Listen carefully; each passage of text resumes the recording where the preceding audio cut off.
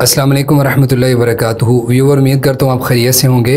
आप जानते हैं कि कलवंजी के बहुत सारे फ़ायदे हैं अहादीस के अंदर। इसके बारे में रसूल सल्लल्लाहु अलैहि वसल्लम ने जो इसकी फ़जीलत बयान की है और बीमार शख्स के इस्तेमाल के हवाले से बताया वो किसी साहब अकल से मख्फी नहीं है।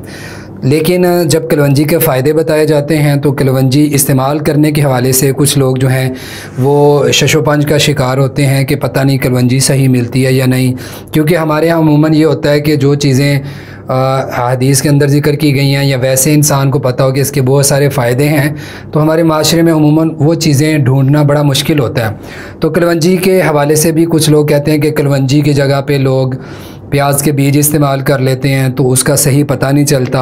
तो इसमें आज की वीडियो में मैं बताऊँगा कि सही कलवंजी जो है, असल जो है उसकी पहचान क्या है, बीज जो है प्याज के और कलवंजी, इनके दरमियान फ़र्क क्या है, ये मैं बताऊँगा।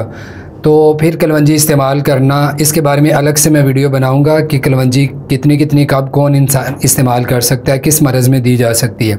बहरहाल, यहाँ पे बात करेंगे कि कलवंजी और प्याज के बीज के दरमियान फ़र्क क्या है। तो देख के गौर करें। यहाँ पे वीडियो पे शायद इतना ज़्यादा फ़र्क पता ना चले आपको, लेकिन थोड़ा बहुत ज़रूर पता चल रहा होगा कि कलवंजी का कलर, ये देखें, कलवंजी का जो कलर है, बिल्कुल ब्लैक होती है ये, और ये है प्याज के बीज। ये बिल्कुल ब्लैक नहीं है इनके अंदर थोड़ी थोड़ी ग्रे कलर की शेड है, ठीक है? ग्रे कलर की थोड़ी शेड है इनकी, और ये बिल्कुल ब्लैक है, ठीक है? एक ये फ़र्क है, जो बड़ा वाज है, अगर आप ख़रीदेंगे, अपने हाथ में रखें तो आपको सही फ़र्क पता चलेगा। एक ये फ़र्क हो गया, दूसरा फ़र्क, मैं तीन फ़र्क टोटल बताऊँगा। दूसरा फ़र्क जो बहुत बड़ा है, वो ये है कि आप ये कलवंजी के बीज पकड़ें, ठीक है? ये कलवंजी के सॉरी कलवंजी के जो दाने हैं, ये अगर आप पकड़ें, इनको मैं करीब करता हूँ, ये देखें। आप इन पे गौर करें, ये मैंने जूम किया है, ये ये आपको नज़र आएँगे तकोनी शक्ल के या बेजवी अंडे की तरह, यानी पीछे से थोड़े चौड़े हैं और एक साइड इनकी जो है वो एक कोना है, यानी नोक वाला, ठीक है? पीछे से जो है, ये थोड़े चौड़े हैं गुलाई में, और आगे वाला हिस्सा जो है वो नोक बनी हुई है इनकी, ठीक है? ये वाला आप देख लें। ये वाला। ये थोड़ी नोक बनी हुई है एक साइड पे और एक साइड पे थोड़ा गोल है, ठीक है? ये कलवंजी ये कलवंजी है और बिल्कुल कलर इसका ब्लैक है। ये पहचान होगी कलवंजी की। अब देखें, ये आपके सामने मैं प्याज के बीज पकड़ रहा हूँ। ये प्याज के बीज हैं अगर आप इनको देखें, इनके अंदर फ़र्क देखिएगा। ये देखें। ये इसके जो बीज हैं, प्याज के, ये ना तो कलवंजी की तरह इनकी कोई नोक बनी हुई है, ना ही इनके तीन कोने हैं। ये देखें, कोई तीन कोने वाला है, कोई चार वाला है, कुछ के पाँच भी हैं, ठीक है? और ये थोड़े मोटे भी हैं, कलवंजी की नस्बत।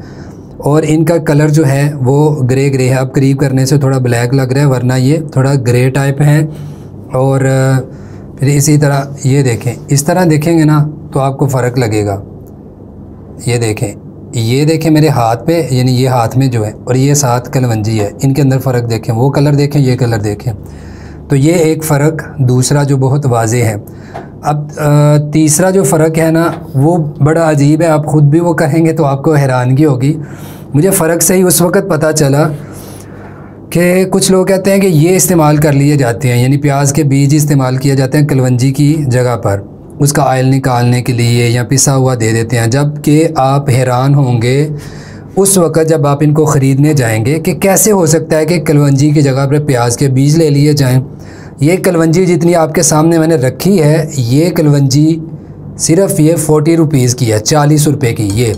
और ये और ये वज़न में दोनों तकरीबन एक जितने हैं।